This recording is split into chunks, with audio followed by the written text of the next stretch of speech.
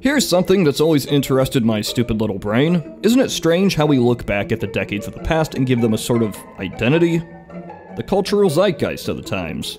The 60s had hippies, the 70s had this, 80s had aesthetic, you get the point. I wanted to take a quick look at why this seems to happen and why it's never going to happen again. Now this phenomenon is pretty much isolated to the 20th century.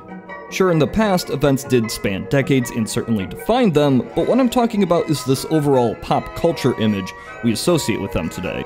It wouldn't start being a possibility until the second industrial revolution, and more importantly, consumerism. This consumerism defines what's trendy to buy, what everybody seems to be listening to, and the stupid stuff you wear. At the same time, these trends of the decade are mostly isolated to the youth culture. Let's just say anybody under 30. So let's lay out when the stuff seemed to start happening. The first decade, the 1900s, saw an increase in consumer goods and the rise of film, but culture as a whole was still defined by conceptions of the past. In other words, the stuff people saw in film and listened to on the radio didn't make them go out and buy stuff. The 1910s gave us war, world war. The prime demographic for setting trends was fighting the Great War, and it's not a surprise we really don't identify a pop culture component. More important things were going on, but the 1920s is where things get more interesting. An economic upturn spurred consumer interest.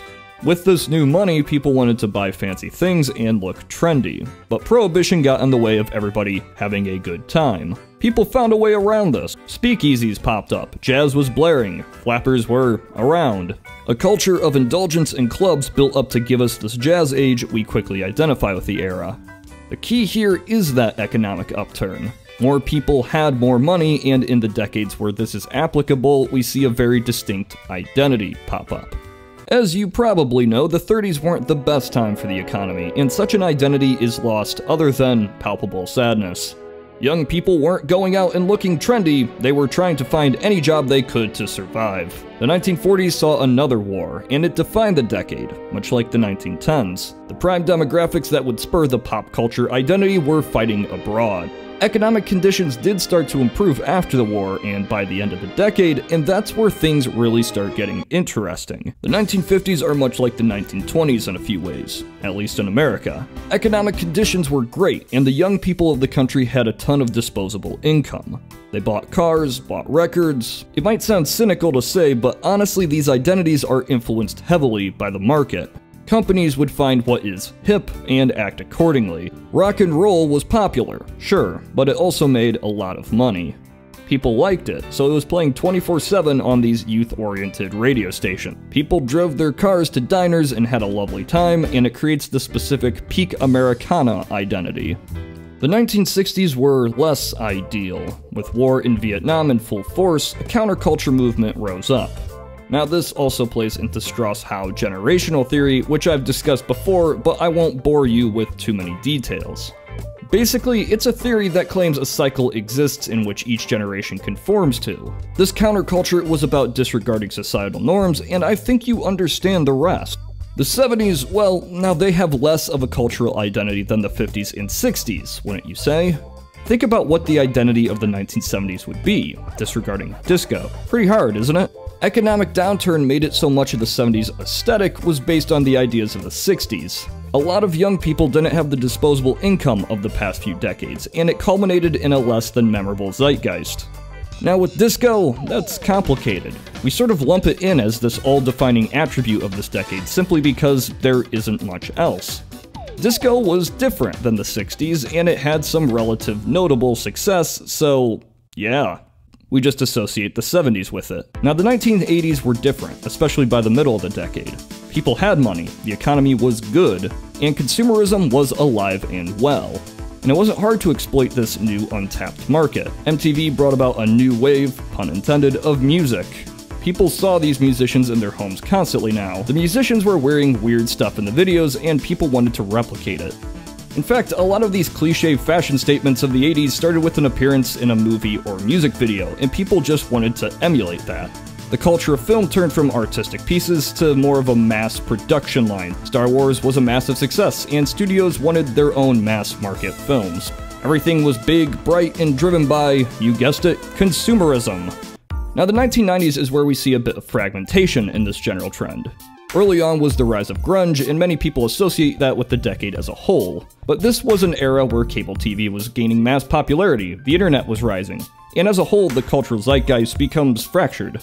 Tony Hawk Pro Skater, rap, the PlayStation, there wasn't a single identity and instead a much wider breadth in that sense. This would be a trend in itself that would keep growing as we reach the 2000s. 9 11 shaped a different image, a darker image in people's lives different than pure pop culture, consumerism, but instead a mindset. But it didn't really define the consumerist nature of the decade. Instead, it was more of a defining trait, a political trait.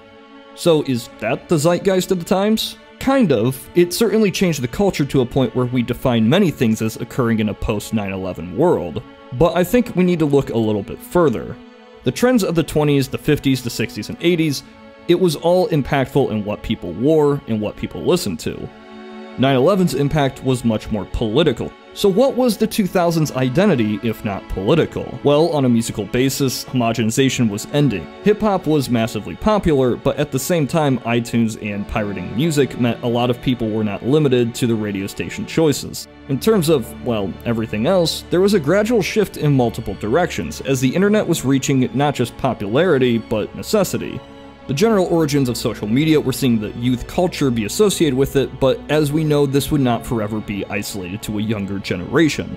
It began a split where people were not seeing the same cultural zeitgeist. People had access to tons of media, culture, information, and it all became so frequent and isolated to specific groups of people that true cultural trends would either reach a minority of the youth population or fade away in favor of something else very quickly. Also, that recession didn't help consumer spending. But that brings us to this decade, the 2010s. It's coming to an end, and when you ask people what the identity of the decade is, they probably don't have a great answer. Most commonly, social media. But this raises some questions. As the 2010s went on, smart devices allowed social media to be accessed from anywhere. This meant that many people were constantly involved in it, and it certainly reaches a majority of the population. At first glance, it would seem like a perfect candidate to define the decade, but you have to think about the future. Social media isn't a trend or a fad. Maybe certain websites are, but the idea of communication and media all accessible from the internet isn't going away. And because of this, we can look at the 2010s as the start of its complete domination over the mass public. It's not isolated to the 2010s. In the 2020s, it'll still be there. Same with 2030s, 2040s, and so on. The pop culture that would normally define music tastes, media, and fashion over the decade are now accessed by social media. And it moves quickly. Trends don't last years like before, but weeks days. Every potential cultural zeitgeist lives and ends within a blink of an eye. It's why we can't say hipsters defined the decade because it was a fad that faded away rather quickly. There's no singular culture youth of the generation follow since it either moves so fast or is isolated to specific subgroups. But at the same time, social media isn't just limited to a younger generation. Everybody is starting to use it. This means more and more subgroups are forming where things become in and out of favor incredibly quickly to niche groups. And this niche is what makes it hard for the only people that truly benefit from the mindset of a decade defining culture the corporations. Every time a company attempts to appeal to the youth demographic, it comes off as ill informed and forced, right? And it's not going to end anytime soon. So, what's the point here? Why does it even matter? Well, I don't know. Sure, there is some level of disappointment knowing we won't see the next synth new wave movement entrench our populace, but that's fine for us. Who it's not fine for is businesses. For corporations, it makes it basically impossible to mass market to a specific generation going forwards. And it's going to be hard to capitalize on trends that only last a few weeks. But they've found one way around this nostalgia. Nostalgia is easy to predict for specific generations. It works in a cycle where the media you consume in your youth becomes prime for exploitation when you have disposable income. It's why 80s nostalgia was so huge back in the early 2010s, and now 90s nostalgia is taking over. It's reasonable to assume that 2000s nostalgia will pop up in a few years. But what after that? 2010s? That's when it runs into another wall. Without that cultural zeitgeist that defines everybody in the generation, I'm generalizing of course, capitalizing on nostalgia will become significantly harder. You won't be able to just make pixel art and expect your product to succeed on nostalgia alone. So maybe it is over. Well, unless people become nostalgic for 80s and 90s nostalgia itself. But that's just stupid. This is Tyler of Knowledge Hub.